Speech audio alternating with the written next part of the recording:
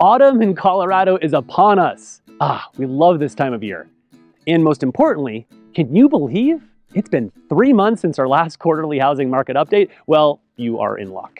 We'll get to the trends and stats, but first, after taking a hiatus last quarter from our popular Three Most Interesting Things segment, we're back to share our first most interesting thing of the summer and early fall season. Rising mortgage interest rates. If you watched our first quarter housing market update, and of course you did, you may remember why we let, let off with this. Why again? Because this is still the trending storyline for the housing market. Rates at the end of, of September sat at around 6.7%, which is double where we began in January 2022. These historically high rates, the highest in 16 years, have hampered new applications for mortgages. The Mortgage Bankers Association measuring data shows applications for mortgage rates are down 69% from the same time last year. Why is this happening? As reported in our mid-year housing market video, the feds are battling historic inflation rates. Their solution? Raise rates until inflation subsides. The hope is we begin to see easing at some point in 2023. Stay tuned. We'll report more on that in our next update in January. Now on to our number two most interesting thing. Major plans unveiled for the 55 acres of parking lots at downtown Denver's Ball Arena. You know the space. Stan Kroenke, owner of the land and Ball Arena, turned in an infrastructure master plan detailing what could be next for the massive swath of prime downtown land.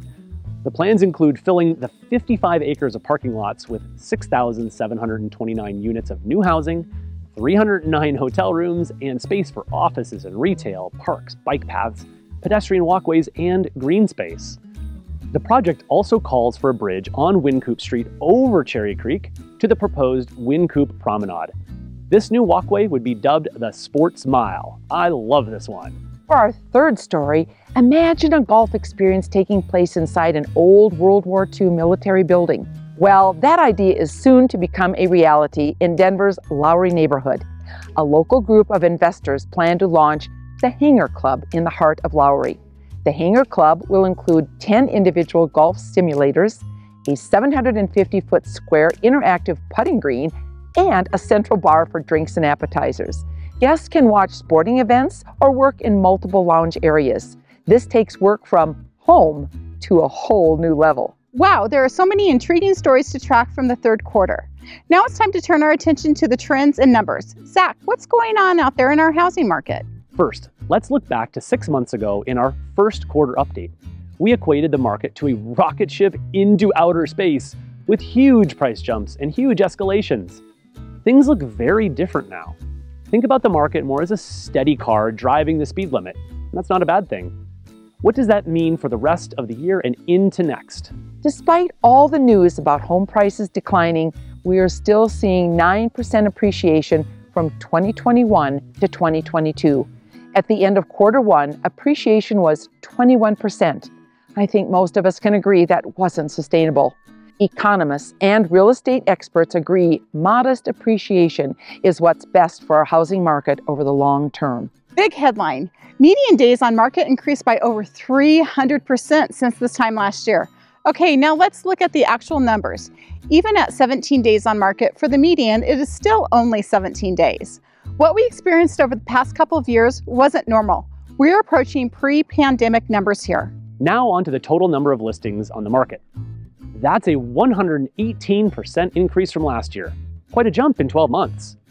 And numbers also show that at least half of these listings on the market are experiencing a price reduction at some point.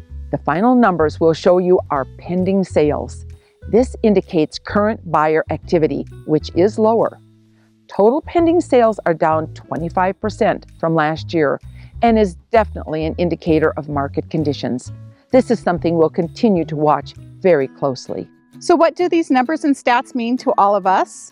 New mortgage applications are down 69% year over year, as we noted earlier. We can see that pending and closed sales are being lower as well. What's also important to know is that this isn't all doom and gloom. Buyers have more options than they've had in years. By the way, this is something that buyers have been waiting for. Plus, with typically one or two offers, we aren't seeing the big escalations like we did earlier this year.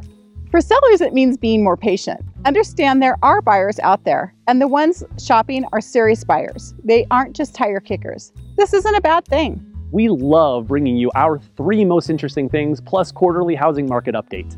If you got any value from this and you're thinking about buying or selling in the next one to two years, our team, Kathy, Jill, and myself, would love to be your real estate resource of choice.